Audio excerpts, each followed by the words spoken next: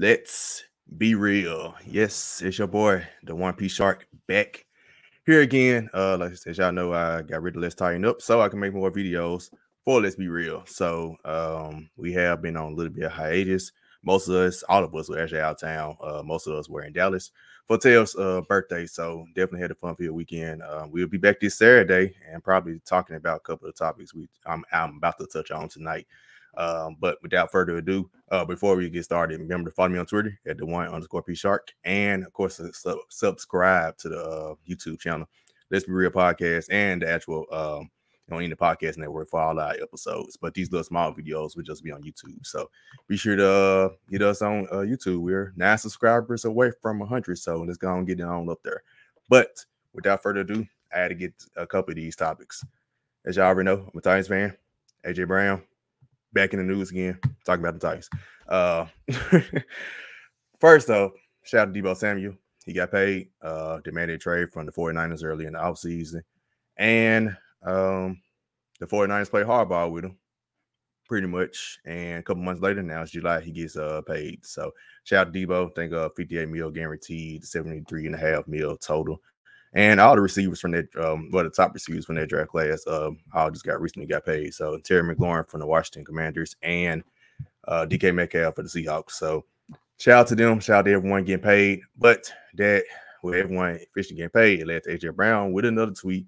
Um, most of our offseason been more so Titans fans getting at him and him responding. This time it seemed like he was taking a shot at the Titans fans. You know, training camp is starting now. Uh, he's with the Eagles. He's been practicing with the Eagles. The Titans, we traded him. We got Treylon Burks back. You think once you think all sides moved on, uh, he just had to bring something back out. I mean, literally a day before another practice with his new team. Um, of course, you know, if, if you have been sleeping on a rock, you saw his tweet said basically all four of us got the same contract, and I'm the only one traded. Yeah, keep believing it was me. Anywho, go birds. Carry on. Hashtag carry on. So, first up, I have no ill will towards AJ Brown. Um, actually, I still have his jersey, uh, Titans jersey. Don't know what to do with it, but I still have it. uh, can't really do much with it, but can't really get rid of because uh, just the cost of everything. He was uh one of my favorite players, uh, favorite receiver.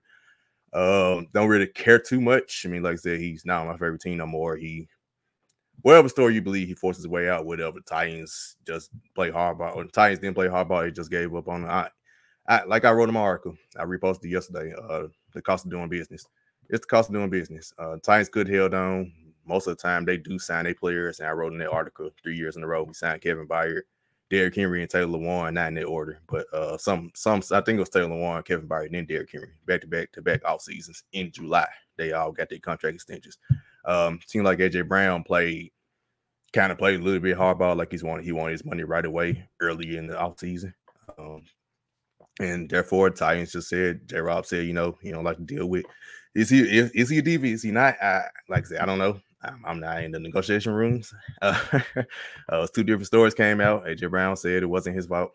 Uh, Titans came out and said, "Hey, he basically forced a trade." He said they did trade him to the team he wanted to go to if he did ask for a trade because Jalen Hurts is his best friend and that's who he's playing with now. So obviously they did trade him to a place he did want to go to if he wanted to be out. Um, so you know when it all boiled down to it, none of this matters. He's now in Titans number. It, has been four months, and this happened back in April in the draft.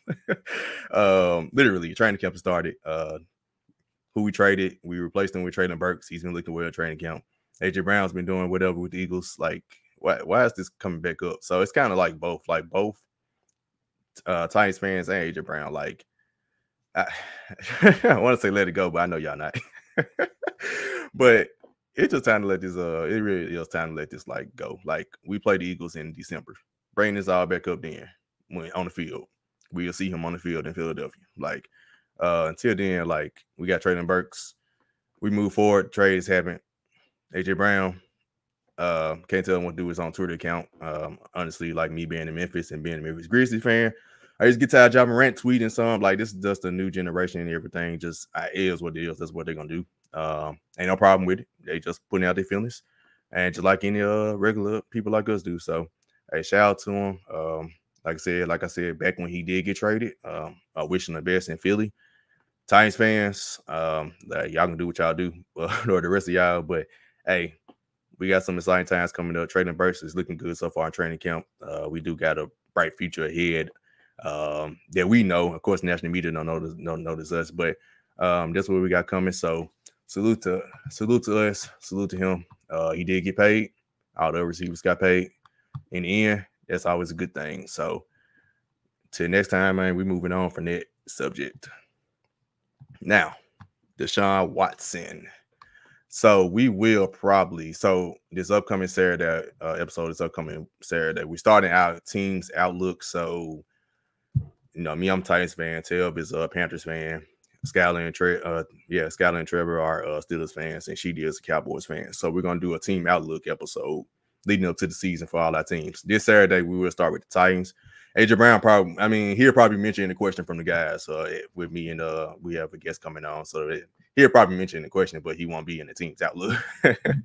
uh, so he might be brought back up, but definitely Deshaun Watson before we get into the team's outlook and our division uh, breakdowns. Deshaun Watson will be brought up. So as for Deshaun Watson, as y'all know, he um the ruling finally came. He got six games. I did see a lot of things on Twitter where everybody blaming the NFL when the NFL did. So here goes. Here's my problem. The NFL didn't make this decision, right? It was a judge who ruled this, who gave him six games. The NFL has three days to appeal. My problem with I think with everybody's complaints is the fact that everyone's already comparing and blaming the NFL and saying what the NFL is doing when the NFL didn't even make the ruling.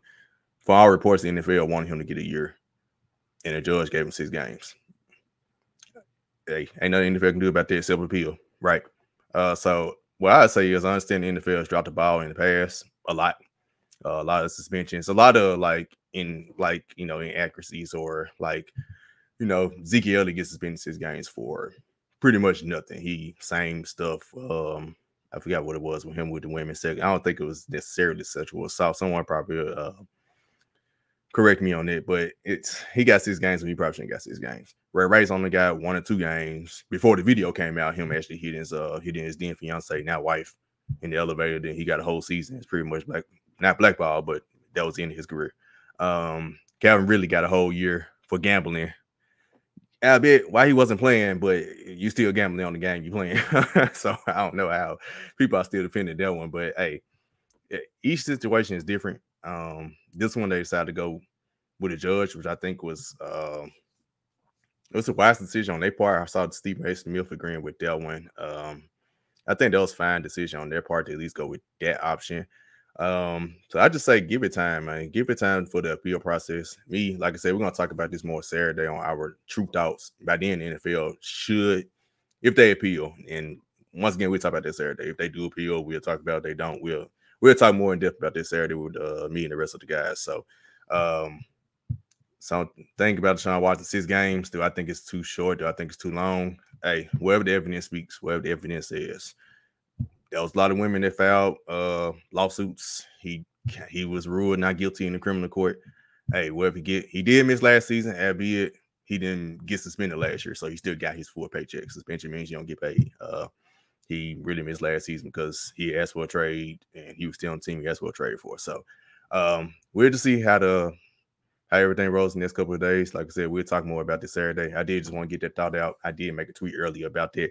Just like let the process go through a little bit, like before y'all start like jumping the gun. Like I, have done it before too. It's not it's not nothing against uh not going anybody, but like the judge ruled this. It wasn't NFL.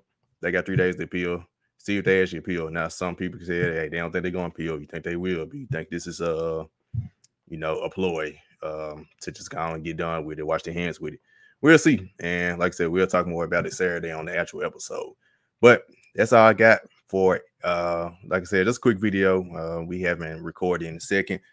And I just wanted to get something dropped out. Uh, I want to try and get some videos out when hot news uh, drops, especially like the things that we really just dropped recently. Still waiting on Kevin Durant potential trade. Uh, definitely dropping video upon that happening if it happens at this point. Um, but with football season started back, Mean, there we really won't be much basketball talking unless that happens, him or Donovan Mitchell or anything big like that happening. So, uh, like I said, as always, follow me on Twitter at the one underscore P Shark. Subscribe to Yes Real Podcast on YouTube and follow us on any podcast network, Spotify, Google Podcasts, Apple, you name it. And like I said, we have a guest this Saturday. We start with the Titans outlook. We'll do AFC uh, South and AFC West uh, division and predictions, and talk about Deshaun Watson and potentially anything else. And we will we have a guest this week, so be sure to check us out Saturday morning, ten o'clock Central. And till next time, peace.